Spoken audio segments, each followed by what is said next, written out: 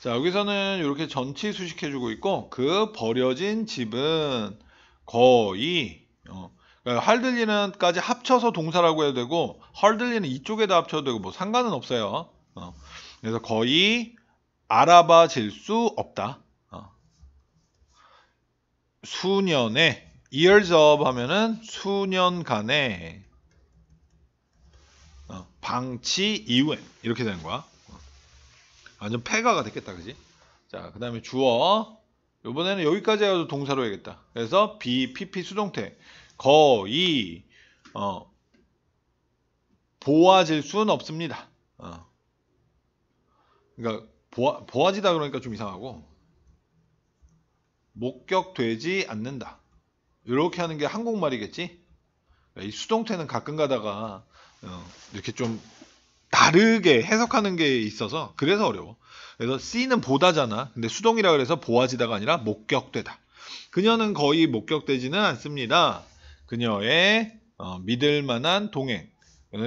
그게 뭐냐? 동격으로 설명해 주는 거야. 충성스러운 개. 어, 없이는 목격되지 않는다. 그러니까 밖에 나올 때 항상 같이 있다는 얘기지.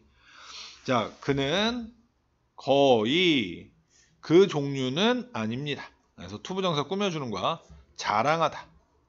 그의 성취에 대해서 자랑할 사람 종류 유형은 아닙니다. 일단 종류보다는 유형이 낫겠다, 그지? 자, 그는 거의 늦게 도착하지는 않습니다. 모임에 설사 그렇더라도 어, 이건 그냥 숙어적 표현이라고 생각하면 돼요. 나중에 고등학교 가면 종종 볼 거야. 여기서 레이스는 부사이기 때문에 그대로 놔둡니다. 자, 그 다음에 이번에는 문장 주어를 동명사 주어로 시작을 하고 있네요. S 표시해주고, 자, 연습하는 것, 그의 악기를 연습하는 것은 어, 습관입니다. 대시 하나 생략돼 있고, 그가 거의 깨트리지 않는 2번이라고 하자. 음, 항상 한다는 얘기겠죠. 자, 이번엔 전명구 나왔고, 자, search. 그러한 거의 오지 않습니다. 어. 자, 그 미묘한 변화. 그 방에서의 거의 이번에는 BPP 수동태죠. 알아차려지지 않았습니다.